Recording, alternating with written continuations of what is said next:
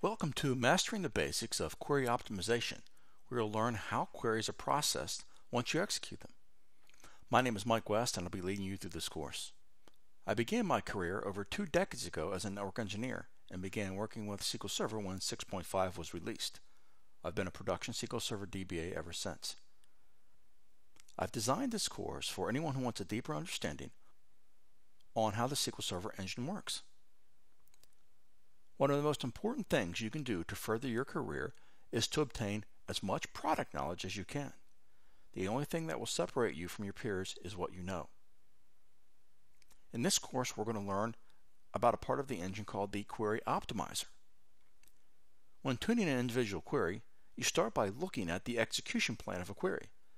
The execution plan describes the sequence of operations, physical and logical, that SQL Server will perform in order to fulfill the query and produce the desired results.